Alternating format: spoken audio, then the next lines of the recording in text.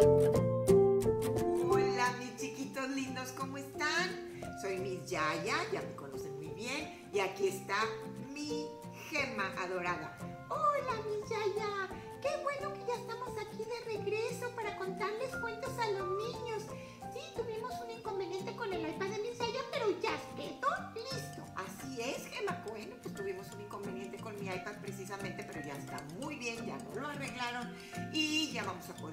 muchos cuentos más. Y precisamente el día de hoy estamos aquí en mi casa porque, ¿qué creen? Quería mostrarles mi pinito de Navidad porque ya llegó la Navidad, ya estamos cerquita de vivir ese día tan especial en donde el amor es lo más importante. Vamos a festejar el amor precisamente con la Navidad, ¿sí? Y bueno, pues para eso precisamente tenemos reservado un cuento muy bonito que se llama La Navidad de los Animales. ¿Quieren verlo? Bueno, pues vamos. Pero antes quisiera mostrarles a algunos otros amiguitos que también fueron a vacunarse ya con este programa de vacunación transfronteriza que gracias a Dios tenemos la oportunidad de llevar a muchos de nuestros pequeños del colegio a que sean vacunados y que todos estemos protegidos. ¿Ok? ¿Quieren ver quiénes fueron? Bueno, pues vamos. Nuestros compañeritos vacunados son Ana Sofía, Natalia, Paulina, Eric y Adrián. Mario, José, Julián y Amairani. Hugo, Napoleón, Melisa, Matías, Mateo y Jerónimo. ¿Qué tal, Gemma? ¿Viste cuántos amiguitos más ya están vacunados? Qué padrísimo, ¿verdad? Ay, Miss, Miss Yaya, qué bueno, porque eso quiere decir que cada vez estamos más seguros en el colegio. Así es, ya estamos mucho más seguros, no solo en el colegio, sino también en las casitas y con las familias de todos nuestros compañeros. Pero bueno, ya es hora de contar el cuento.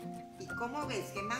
Que es una Navidad que los animalitos también pedían tener. ¿Quieren verlo? Bueno, pues vamos para allá. La primera Navidad de los animales, por Benoit de Becker. Hace mucho tiempo, un conejo fue a visitar a Papá Noel, allá arriba, en el Polo Norte. Está muy bien eso de mimar a los niños, pero ¿has pensado alguna vez en los animales? le reclamó el conejo a Santa. ¡Jo, jo, jo! Tienes razón, reconoció Papá Noel. Pero hay tantos niños en el mundo que no me queda ni un minuto para vosotros.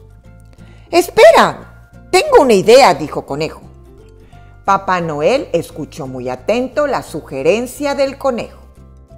Desde aquel día, todas las noches de Navidad se ven descender del cielo extraños Papá Noel.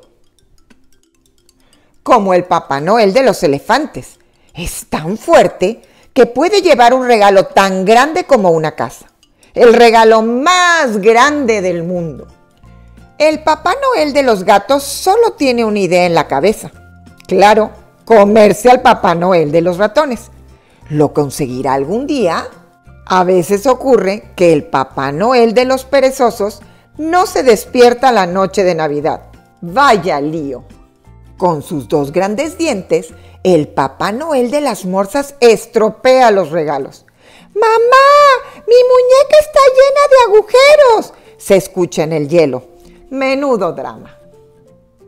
Si en la noche de Navidad ves un puntito rojo atravesar el cielo a toda velocidad, es el Papá Noel de las pulgas. El Papá Noel de los topos es tan miope que lo regala todo al primero que se encuentra.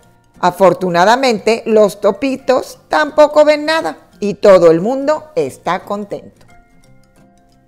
Todas las mamás osas están un poco enamoradas del Papá Noel de los osos y sueñan con abrazarlo. Es tan guapo.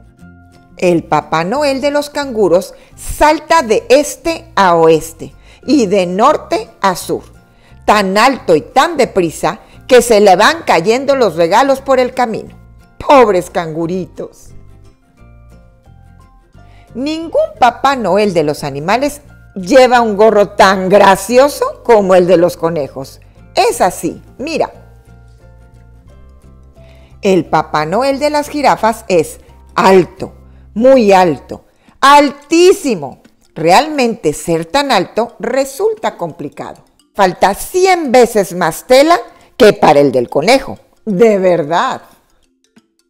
Todos los años, el Papá Noel de las gallinas se empeña en incubar los regalos. ¡Ay, qué tremendo Papá Noel de las gallinas! El Papá Noel de los cocodrilos derrama lágrimas de cocodrilo sin parar.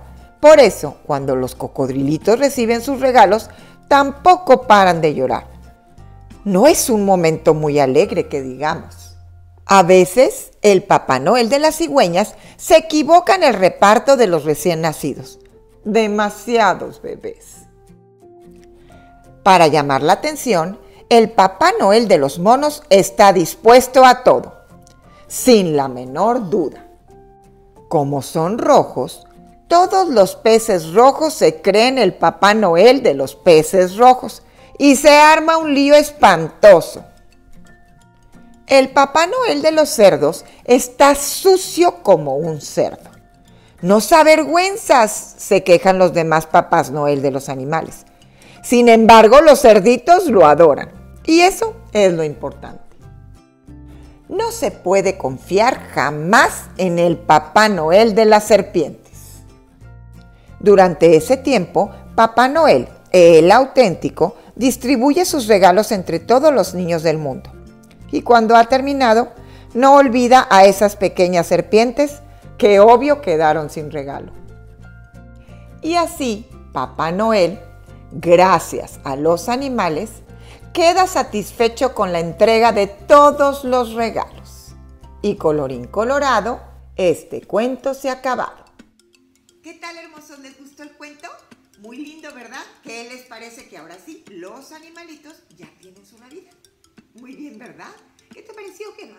Hermoso, mi Yayita. Además, esta época del año es hermosísima, porque es la mejor época para demostrar amor.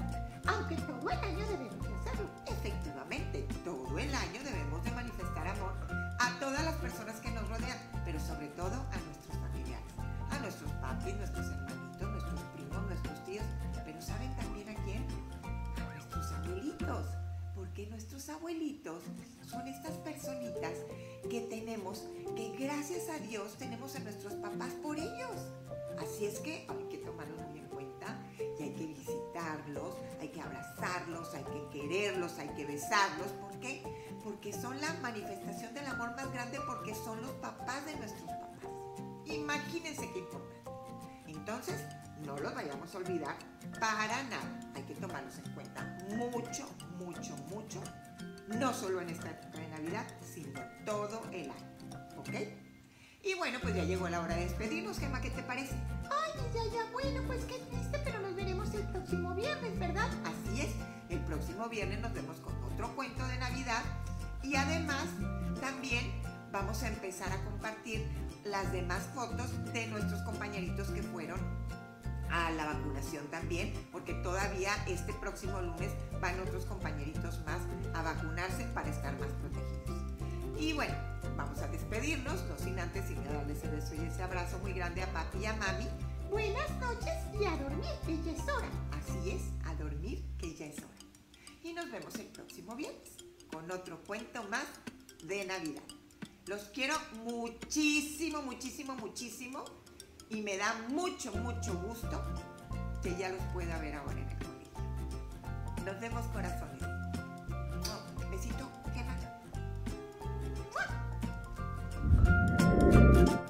Tal vez el mejor adorno de Navidad es una gran sonrisa.